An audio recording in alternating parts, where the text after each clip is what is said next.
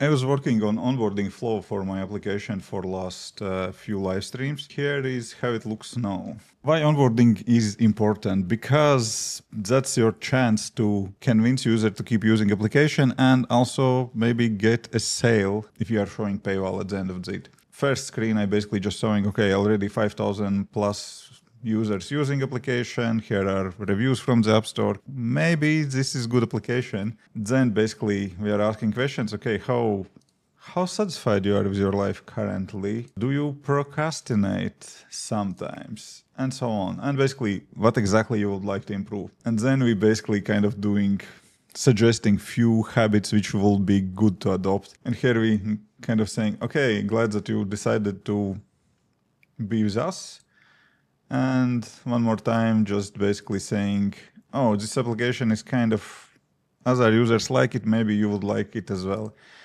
I'm kind of against showing, uh, rating, asking for ratings in onboarding flow, but I decided to, I don't know, gamble a little bit and hope that I will get more good ratings. Yeah, here's high chance to get one star rating in this case as well. But we are showing current rating of the app we are showing real ratings from the App Store, maybe user will decide to leave us five star rating, hopefully.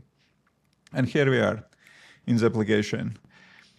And yeah, because we didn't choose any of the habits in onboarding flow, we're still offering, oh, maybe you would like to try to start with those habits.